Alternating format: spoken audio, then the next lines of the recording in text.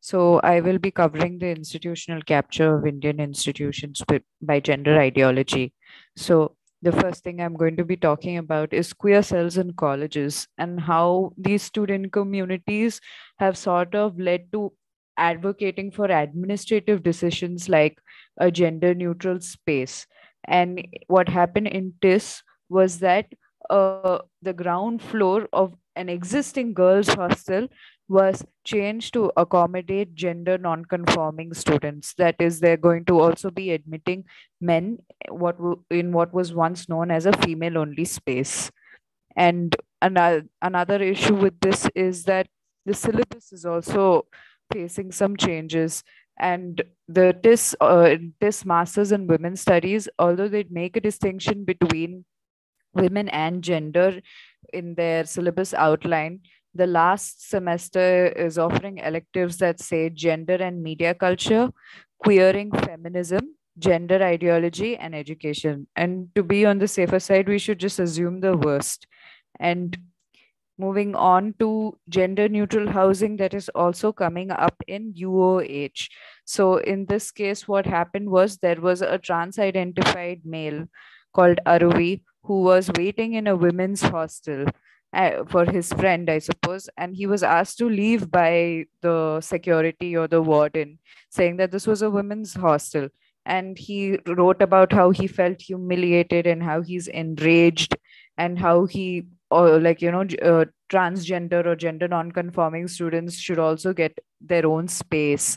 And uh, the issue with UOH is they often caste bait and exploit Vemula's memory to suit their narrative, which is something that uh, we're definitely uh, up against. The issue is that it's a sex segregation is not a caste issue. It's a women's safety issue. And for them to like you know manipulate then these narratives to just strawman our arguments is very wrong. And moving on to ashoka's gender neutral spaces. So this is where a bathroom, uh, the female and male bathroom signs were removed, and a gender neutral sign was placed to be inclusive of everybody and anybody going inside. But I will also mention that Ashoka is a very elite institution. I think this this does become a matter of concern when it trickles down to public spaces, and you know, for all we know, it does start at an institutional level. And the next will be Ashoka's Instagram handle.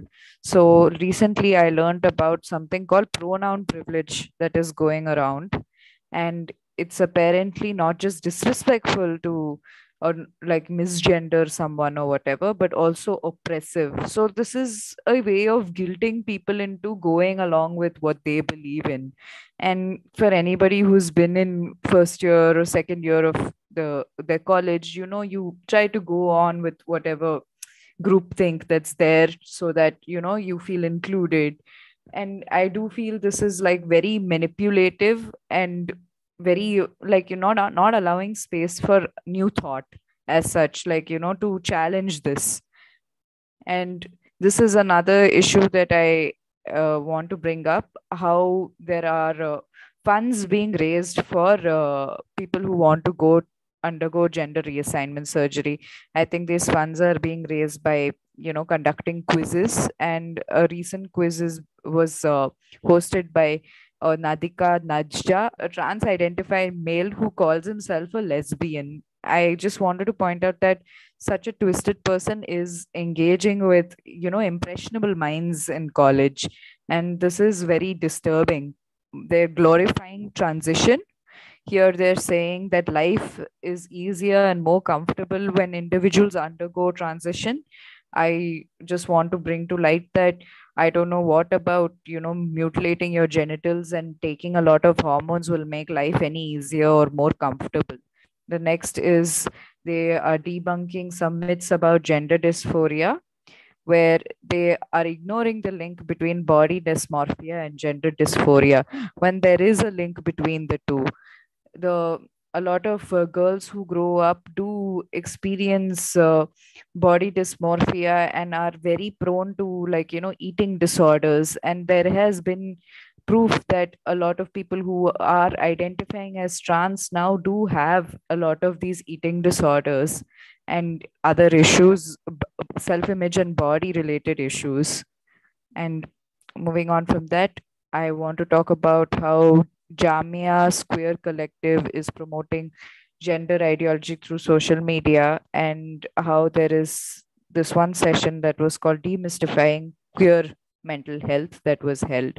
So, my issue with this is, is that feminism has become such a consumerist philosophy online like you know with this he for she going on and wanting to be inclusive of everyone and everything when it really shouldn't feminism is exclusively for women and there shouldn't be any room for men who identify as queer or different or whatever and this person this girl diksha eh, bala is like you know part of the postmodern school of feminism and is queer affirmative and whatnot. This is being int- introduced in academic spaces. This is a big issue. And moving on from that, I want to talk about the importance of girls' colleges.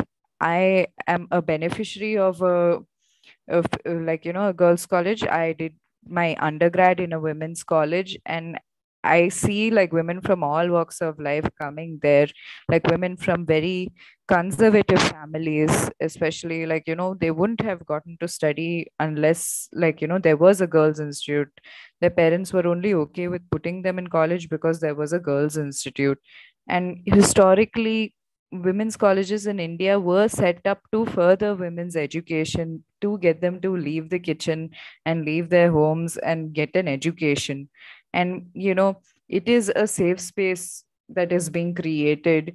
I do see girls who are more confident more expressive of themselves than i would in a co-ed educational space. And you know our body language is uh, shifts when we're like you know in a female only space. Like you know we're not always slouching. We're not always you know stuttering or hesitating to say what we want to say. And you know it's very important that you know girls have their own space women's college rejects admission of trans women.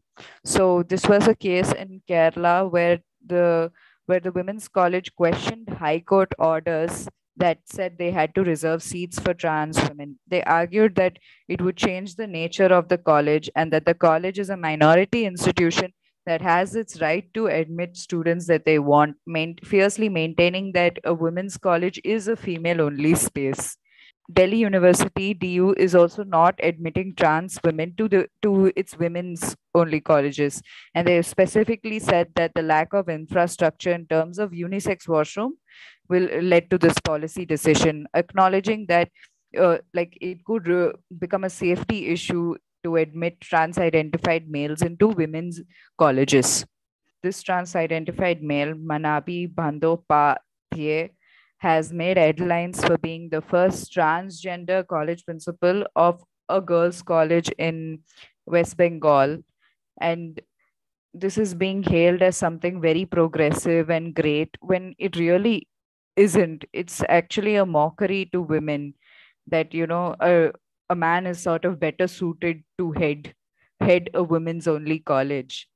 Uh, Dil Se Open is uh, Axis Bank's new initiative um, I assuming Mr. Harish Iyer had a lot to do with it. First, I will go ahead with giving a little background on Mr. Harish. He is an LGBTQ rights activist who's gobbled up gender ideology and is really pushing it in on all his media accounts. Like even if you see his Twitter pronouns, it says he slash slash she. I don't know what that's supposed to mean. And he's recently joined Congress and he's really known for his media advocacy and his engagement with a lot of bollywood celebrities. So we're talking about someone who does believe in the trans agenda in politics having a major media presence and policy level influence in a bank.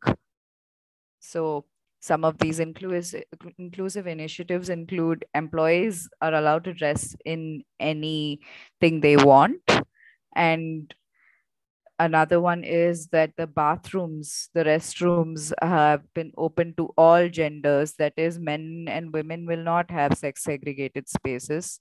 And another one was mx can be had added as a title instead of miss or mister considering that you know they have to be inclusive of non-binary people. And this is appears very contradictory uh, contradictory to the other set of policies that they're introducing that is they're saying access uh, the axis bank is saying that they can make same-sex partners a nominee and can open joint accounts with same-sex partners but they still somehow manage to include this gender gender expression nonsense and moving on, I wanted to talk a little about Alok Menon. He's an Indian American tra- uh, trans rights activist. As MA covered, he's I think he's known for his like bad poetry and absurd fashion choices. And he's also very influential in Indian academia to a certain extent, I would say, where he posts his views on white feminism. And I would say this is race baiting and I would like to add that there are oppressive structures in the global south that have very little to do with colonialism, like sati, for example, that is the burning of widows. And so this form of race baiting sort of obscures conversations that need to be had about oppressive structures in the global south. And another one of his posts was where he was defaming Raymond saying that TERF ideas have somehow mainstreamed when TERF ideas are clearly not mainstream, saying that she argued that trans women were men colonizing women's spaces, which is true, by the way, and somehow trying to insinuate that there, uh, the TERFs and the right wing are working towards bringing uh, like gender uh, gender activists down when it's really not the case.